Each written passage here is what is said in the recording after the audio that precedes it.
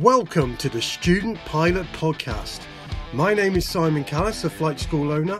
Each week, myself and my guests will be talking all things flight training and beyond to help inspire, motivate, and support you on your journey to becoming a private or commercial pilot. Welcome to the Student Pilot Podcast. Billi States, how the devil are you? I'm good. You good? Just come back from your cruise? Yeah, my med cruise. Your med cruise. um, so, Billi is one of our PPL license holders. Um, recently passed this year. We've uh, done some flights together, haven't we? Had some fun doing that. Yeah. Um, so, let's talk about your journey to becoming a private pilot. Okay, so you started off on our fast track program during COVID, and unfortunately, there was lockdowns and then you got deployed with your job, didn't you? So there was some gaps and things. Yeah. Um, so you ended up on the um, Learn at Your Own Pace program. But let's go right back to before it started. Can you remember how you felt about learning to fly before it started? I can remember speaking to you for a long time on the Yeah, phone yeah. about different things you had, different preconceptions, worries you had about learning to fly. Yeah. Can you go through some of those with us and see what it was actually like when you got into it? Yeah, definitely. Um, so to begin with, I didn't, I didn't think I would be able to, to do it. I didn't think I'd be clever enough because you just, well, all the pilots that I know through the military are super intelligent. Um, yeah, so that was one of the main things. I didn't know if I'd actually be able to complete it, and then it was just, you know, did I was I was I clever enough? It, it was then the money. You don't before you get into it, you don't know the actual process, do you? Yeah, And yeah. it's quite a lot to kind of. Yeah. I've spent a lot of time researching everything, like the pathways and stuff, and what you need to do. But until you do it, Mm-hmm. yeah. or you Yeah. meet other people that have done it, Yeah. it's difficult to. No, I know kind you had some specific worries, didn't you? About so the first Mm. one really I remember was that um, you were sort of worried about if your maths was good enough and stuff like that. And I remember Yeah, talking you yeah. that you know a lot of it you don't need to be good at maths. It's just learning no. procedures. Yeah, and there's, there's so many like tips and tricks that you kind of learn along the way. Um, but I mean, I only I had like grade C in in maths, and I thought, you know, surely you need more than that. Um, but with it, you know, I, I've done like an engineering degree. Like you, you think I wouldn't be worried about that, but it's still Don't know what you don't know. That no, you? exactly. That's the thing. And the other thing, which I found quite amusing because this was me as well, was um, I was scared of height. Well, I am scared of heights. Yeah. But I can't go up a ladder. I hate it. Yeah, you yeah. know, I, I um, can't jump off a three meter and a one meter diving board. And I remember having this conversation with you about it because everyone always says to me that says I'm scared of heights. I tell them I'm scared of heights, and they go, "Oh, you just Yeah. trying No, no, just no, trying to I'm persuade me into it." Absolutely terrified. Yeah, Like, but it's different, isn't yeah, it? yeah, it's really different. Um, but yeah, that was one of the things, and I'm terrified of. Well, I was never used used to be scared of flying because I loved it as a kid. Mm-hmm. Um, but as I got older, for some reason, I think I don't know. I worked in uh, safety uh, aviation environment for a bit with with the military, Yeah. and I think since then I was I just got more and more scared to fly Okay. um, each, you know, the turbulence, and, and it was completely irrational, 100% irrational fear. Yeah. But, uh, you know, you just can't help it, can you? I think it's learned fear, though, isn't it? Yeah. And, you know, I know how to fix aircraft. You Yeah, think, yeah. why would I be scared of flying? Um, but anyway, yeah, so I was terrified of flying in general, never mind getting up in a little, little plane. Uh, do you think when you actually did it, was it as you expected it to be, or Um, I think when you're up there and you're, you see how the, the aircraft floats in the sky.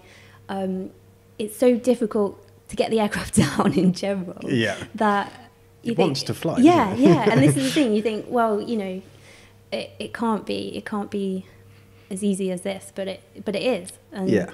once you've got your head around it, it's fine. Like Yeah. it actually gives you a lot more confidence. And I think the heights thing as well is I find that because it's not relative to there's nothing around you at the same Yeah. height, so you can't actually physically tell how high you are. Then the ground starts to look Yeah. a bit different. Yeah. So well, it's not as if you're going to fall out of the plane. yeah, yeah, exactly. I think but if I was falling out, it'd be a bit different. yeah, but you know, like if you um, if you look off the side of a, a tall building, like you get a skyscraper Yeah. or something, it's like you can see how far down it is to the road or whatever. But Yeah. you're not. There's nothing relative to you, Yeah. is there? So Yeah. it kind and I think because you sat down and you strapped in and all the rest of it, it's a bit. You just got too much to think about. Well, yeah, exactly. yeah, No exactly. time to be scared of anything. But um, so how far into the course did you start to feel like I can actually do this?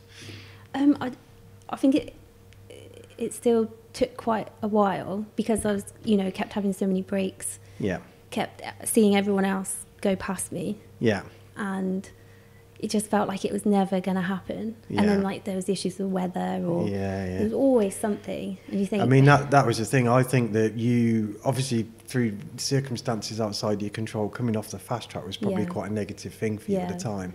And do you feel like when you stopped flying frequently and you had the gaps that it all started going backwards a bit? Or well, as soon as you, you'd come in, you you you'd lack confidence because you'd think it's been too long. Yeah. I need to go backwards to go forwards again. Yeah. And it happened every every Yeah, yeah. couple of months. Like it was crazy. So yeah, exactly. No, I get that. Um, and do you, because you're quite a motivated person, that's the thing. I think anybody else might have, you know, I, I told you my story, I gave it three times uh, for the similar reasons, Yeah. right? So do you think that, you know, anybody going into it and learn at their own pace, do you think they're already kind of um, putting themselves at a, a negative start if they, they need to be really motivated, don't yeah, they, to get through yeah. it? yeah, you've got to have like a plan and Yeah. you've got to have like structure. Yeah, I exactly. think. Otherwise, you just kind of float along and Yeah. gets a bit kind of And I think the um, the one thing with the fast track which I like is that you know when the end of your course date is. Yeah, So yeah. you've you've got a goal. So I, I think having that competition as well with other people. Yeah. Obviously, if you're competitive like me, you're then not that's like a competitive, are you? massive, it's a massive bonus having like everyone start at a particular time, and you, Yeah. that that was quite. and I think I reckon that was probably good. one of the hardest things Oh you. God, yeah, just, just- seeing everyone pass before you. That Yeah, well, the viewers don't you don't know Billi, but she used to ring me up and say, right, how come this person went on their QXC? How the hell did that happen? and it's because they were still on that program, weren't they? They were still in the process. Yeah. So it's yeah, it's a tough one. But it, I think that might be motivational for you. you Oh know? yeah, definitely. Any yeah. any kind of competition. That's for me. That's kind of a good thing. yeah. You need that sometimes. I think. So, in terms of the, the fast track, would you have, if you could have stayed on that, you'd have preferred to stay on that process rather than going Yeah, on the learn your own pace? Yeah, definitely. Just Yeah. the structure and um, just how it was kind of set out. You you knew what you had to do. Yeah, Um, yeah, yeah, just no, like exactly. tick things off as you go. And things like the the weather causing problems. I mean, that in the fast track, that's kind of dealt with because we've got all your bookings in. Yeah. But when you learn at your own pace, and it's just it's got music on in the Sorry. back. when you when you've got the um, you know that kind of those breaks coming up, and there's nothing you can do about it. It's so frustrating, oh isn't it? Oh my it? god! It So. I I would have a plan to take loads of time off work. Yeah. Um, I'd take the time off, come down, and then the weather would be Bad. bad. Yeah. uh, and that could go on for days. yeah. No, and it you does. think, well, I've just used all my annual leave and nothing's happened. Yeah, well, I've it's not happened achieved this, anything. It's happened this week. You know, we haven't Yeah. flown most of the week. It's been yeah. bad. I mean, that that is frustrating, but Yeah. you've kind of got to accept that that's. So anybody thinking that they can't do fast track but they want to do learn at your own pace, what would you say the key things to make sure you get through it? Um, so I, you you obviously got the goal to be Yeah. a pilot, Yeah. but then I would always be watching YouTube videos Yeah. Uh, like podcasts, listening to people that have done it. Yeah. Uh, you find like pilots that you kind of um, not look up to, but Mm. you know, you, you've got an idea of what you want it to be like when you pass. So Yeah. always like watching. oops, Sorry, Breaking Uh, what, watching like uh, you know guys off Instagram, Yeah. YouTube. Uh, I do a lot of um, I don't know, not not like learning off Yeah. there, but it, it's good to see what other people do and how how Focusing you to- about. yeah, and yeah. you think okay, so that's kind of like your motivation to keep going. yeah. Um, So I guess really it's making sure the reason why you're doing it's strong enough to get through it. oh yeah, definitely, Yeah. definitely. If, if it's not hundred percent, then it's a lot of money to to spend Yeah. on.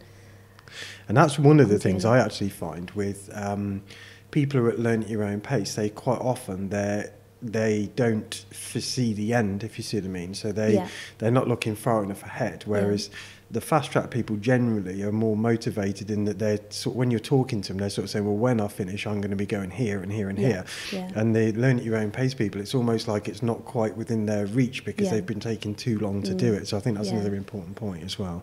But also, I think it it was good being fast track because you had that that kind of plan and Yeah. everything was kind of factored in. Yeah, But then you forget you need to enjoy. enjoy the process. Yeah, because as Yeah, soon yeah. as you you do the test, like I haven't flown since I've done my test, and I feel like obviously that's all. We have, haven't you? Well, we did that trip to Wales. Yeah, yeah. That's I think that was it. Um, but yeah, then you you're kind of out of the Yeah. training loop, and then you like, oh well, It's an anticlimax, isn't it? It is, I, it I is. keep saying that to people because I remember when I passed, I was thinking, "Is this it?" Yeah, You know, and yeah. then it- then no, I still didn't. I still didn't believe it for, for weeks, and then I never told anyone because I felt embarrassed. Really? And Why? then, wow, you feel like you're bragging then, don't you? And you you wait all this time to become a pilot, and then you're like, oh, I'm not going to tell anyone tell now. anyone. Yeah, an it's, um. It's weird though because it's like you say, you get to the end and then it's like, what do I do now? So I think the biggest thing is doing what we're doing. You know, recently Yeah, is, is yeah. doing some trips. Yeah. Um, Having a, like a, another plan of Yeah, like you what know do ratings next. you can do, or yeah. um, but yeah, because otherwise it, it all just kind of tails off, and Yeah. you don't want it to be for nothing. Yeah, absolutely. And I think the um, you've got to remain motivated to carry on flying because Yeah. you, you haven't you then haven't got a goal as such. Yeah. Because Well, you, well, then it just seems so overwhelming because you've got Yeah. so much more still to do. Yeah. And you've just been focusing on that first goal of getting the license. yeah. And then it's like now you need new goals. Yeah, absolutely. And do you know what I found weird as well? Because when I was a student, obviously when you go solo, you think, yeah, I'm flying the plane by myself and all the rest of it. But you're doing these routes that you and the instructor did together. Yeah. And they've signed you off to do it, so you know it's going to be as safe as it can be for you yeah. to do it. Um, but when you go and get your license, it's like, well, where do I go now? I don't know anywhere. Yeah. I don't know this. And then you can quite easily get into this trap of just flying the same places you've been before. So I think sometimes just saying, right, we're going to go here. And then go and push yourself a yeah. little bit. It's yeah, good fun, isn't it? you yeah. know? And like finding other people that want to fly. Yeah, kind of with exactly. and- And it's um, you know, you go and have a fun. You know, we had a fun day out. Then we went to Yeah. Caernarfon, spend Yeah, the day to the there, beach. go on the beach, all that stuff. It's great fun. Yeah. So yeah, all that stuff's good fun to do afterwards. And I think you just got to keep making the Yeah, plans, haven't you? So one of the things that um, has come up recently that I've been talking to people about, and I'm sorry if I keep using you as an example Oh, because no. yeah, What I have know. you been Mm, saying? What have I been saying? no, I've had three people recently all suffering with motion sickness Okay. like bad, Yeah. right? Um, and I use you as an example, and I use Nikita as an example because Nikita still actually suffers a bit. Yeah. Um, but you got over yours. Yeah. Um, and I say to most people that a lot of it you will grow out of, Yeah, or you'll find ways Yeah. of dealing with it. So tell us about your motion sickness, how it came about in the first place. You know, did it was it something that came about f- as you flew, or was it something that was prior to that? Um, Or? So I started as an adult. I started getting seasick Mm-hmm. and car sick. Okay. Um, but you just assume it's just doing those things, not that it's full Yeah, motion yeah. sickness. Um, so obviously flying, I found out I was motion sick or flying sick. I don't know Yeah. what you call it. um, so yeah, that was a bit of an issue, but it, it's not it's not an issue that would stop stop me flying. Yeah. Just had to find a way around it. Yeah. Uh, so I started wearing these little patches, Okay. you know, per, behind your ear. yeah.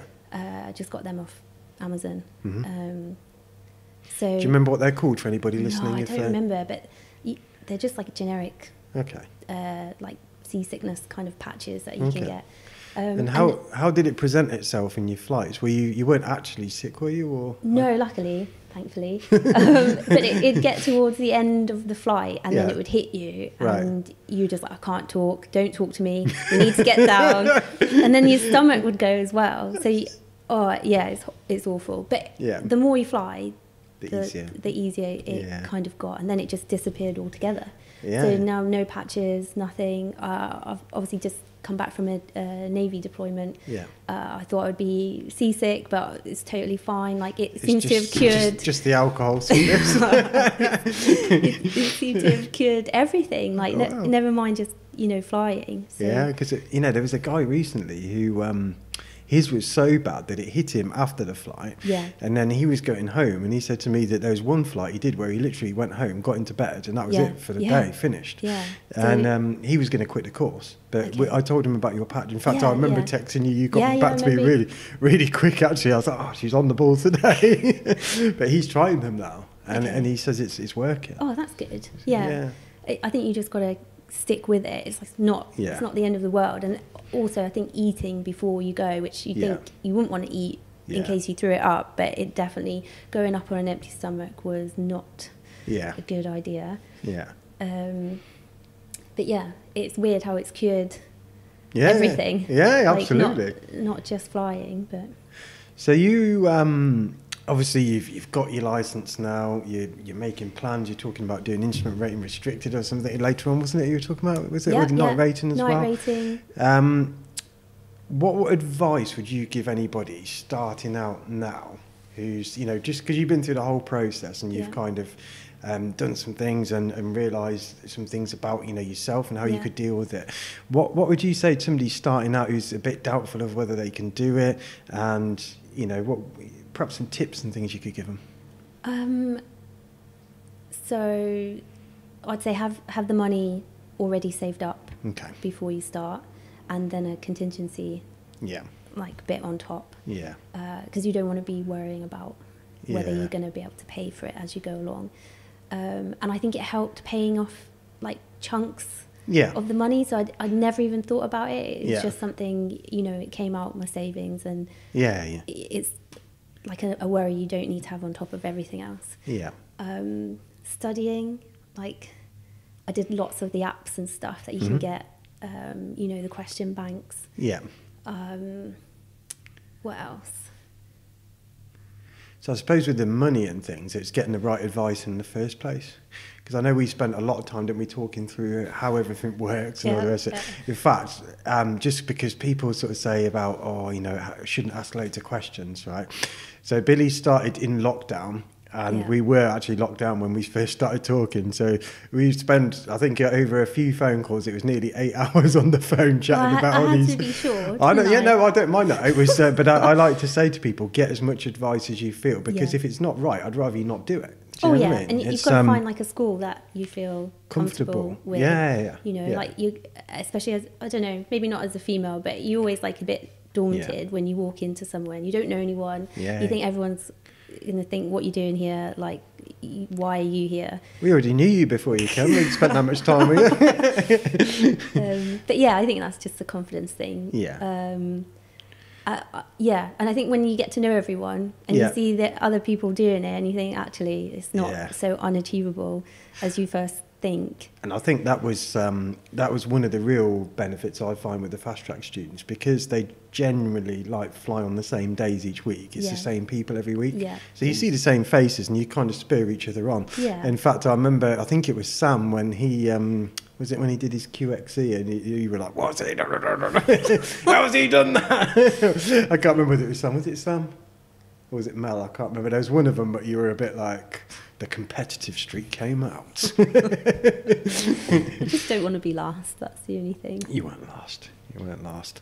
Um, so if so, basically, tips for other people. And you said obviously make sure you get some Yeah. advice, get your budget Yeah. ready, Make, contingency. make sure it's it's really what you want to do. yeah, yeah, Uh, money was a big thing, Yeah. and the exams, like get the exams done as soon as possible. yeah. Like don't don't wait, but then don't also do what I did. And Well, this is this is a funny story. So the exams, we always say to people, try and get them done economically, get them done as you know as quick as you can.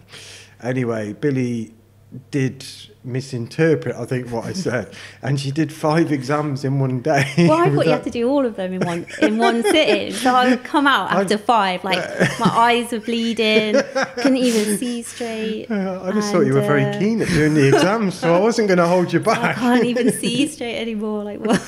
Yeah, so Billi did five in one day. You don't have to do that, by the way, but yeah, getting them out of the top way. Tip: don't don't think you have to do everything all in one go. But I think getting them out of the way helps you. Oh, now I look back, I think yeah, Yeah. it was kind of better to get everything done. Because you do get other people who kind of try and leave them Yeah, as definitely long as they can. not, not worth it. Like probably Because when you, when you come in, you just want to fly. You don't want Yeah, yeah.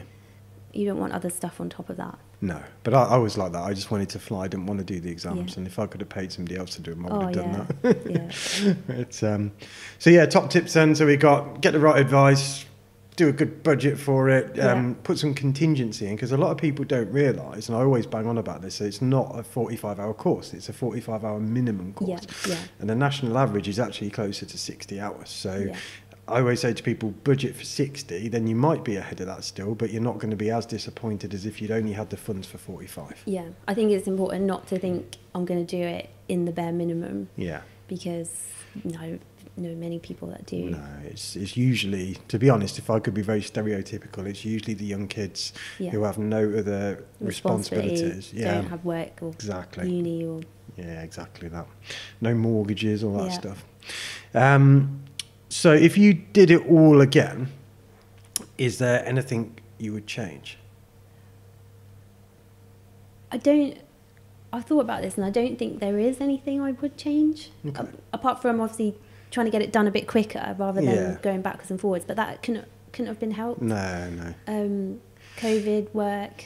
You could foresee the COVID because you, you signed up in COVID, Yeah, so yeah, we knew you we yeah. knew what we were into then. But the deployment, you couldn't really. That could happen No, anytime. that yeah, So- that kind of messed things up. And after like three months, you're like, oh, I've definitely forgotten everything. Yeah, yeah, So yeah, then- yeah, yeah. Exactly. so then you're going backwards and forwards, and Yeah. and then it'd be bad weather. Yeah. So it, it was so frustrating at the time. Yeah, But um, you look back and was enjoyable though, yeah, it? Yeah, good it's always enjoyable. I like coming But down. you know what impressed me the out. most is a lot of people have had the setbacks that you had um, with all these these gaps because of your deployment and things. Some of them would have given up, and you didn't. You didn't give up. You came back. Well, I don't know if that's just I'm so tight with money. so tight I'm with money. I am getting through this, whether it kills me.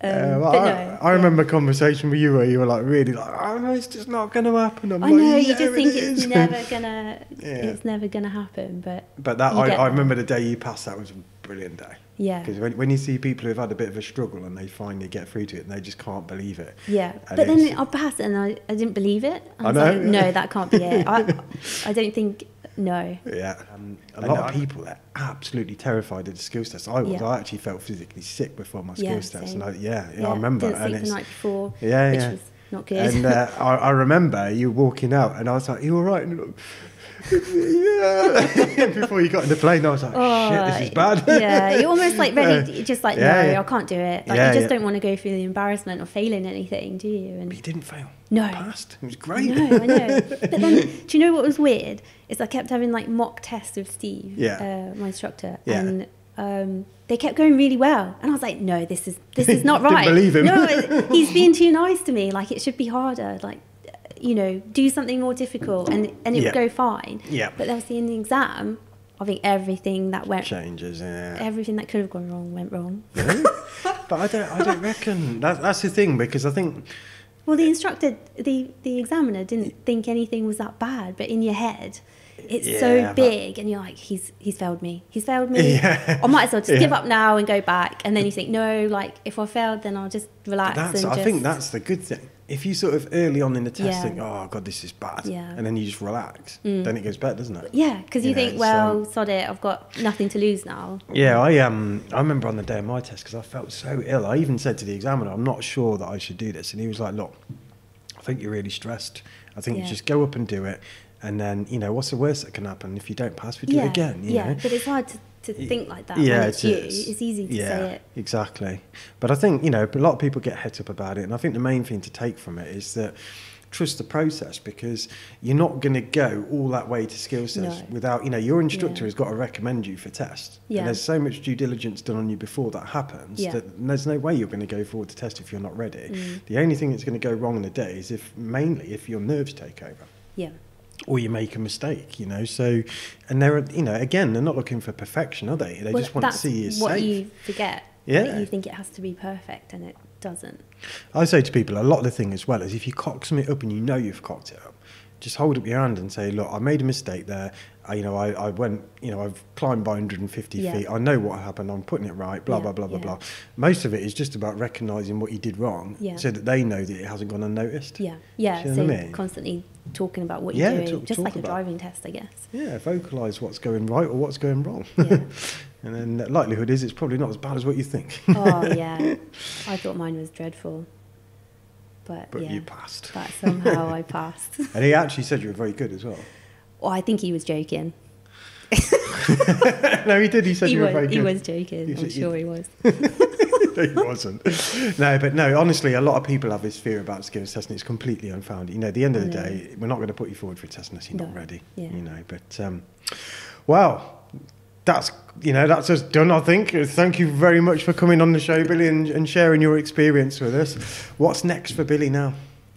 Next, uh, hopefully the night rating, Ah, and then instrument rating. I've got one more deployment to go, and then uh, this is not a, it's a cruise. It's a cruise. No, She- this is a proper She says she's now. going off to these things, right? She was on the cruise. the last one was a med cruise. Like I've got to admit that.